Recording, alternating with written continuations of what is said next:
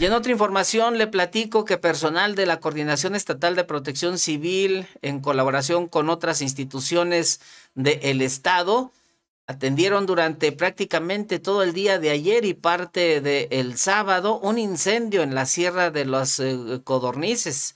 El fuego se originó durante el mediodía del sábado en dicha sierra ubicada entre las comunidades La Sauceda y Campuzano de la capital del estado. Eh, hasta la tarde de ayer se hablaba de una superficie afectada de aproximadamente 400 hectáreas, principalmente la destrucción de huizache, nopal, ocotillo, palo dulce, encino, pastizal, roble, pingüica y hojarasca.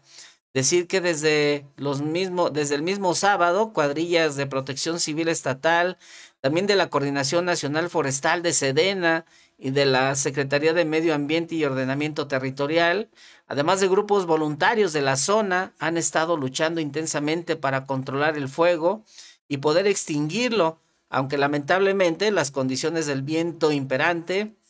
han dificultado las labores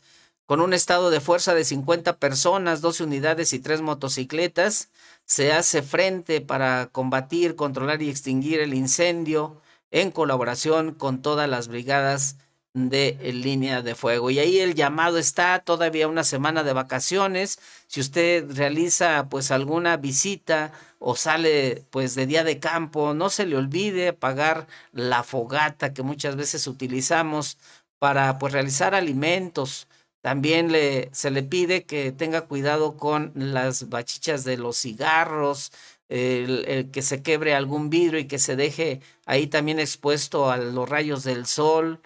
eh, que hacen luego efecto lupa. Así es que vamos a tomar las precauciones, vamos a cuidar nuestro entorno y también si termina sus actividades, llévese la basura, no la deje ahí abandonada en el lugar de convivencia.